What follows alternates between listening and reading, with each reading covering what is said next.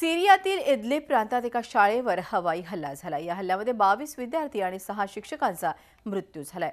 कट्टरपंथीयांच्या ताब्यातील हास गावात हा हल्ला झाला. या हल्ल्यातील मृतांचा आकडा वाढण्याची शक्यता आहे. हल्ल्यामागे रशियाच्या लढाऊ विमानाचा हात असण्याची शक्यता वर्तवण्यात येते.